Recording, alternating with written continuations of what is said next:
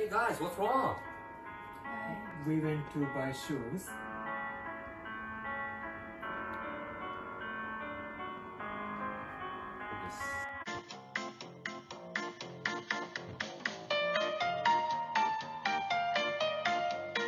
They didn't have the shoes we wanted.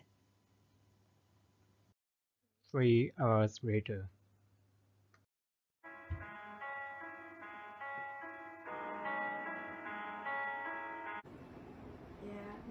We went to 10 stores, but we couldn't find it. Hey, you guys don't know this app? What is What that? is that? This app tells you a nearby stores that sells the thing that you want. You gotta download it.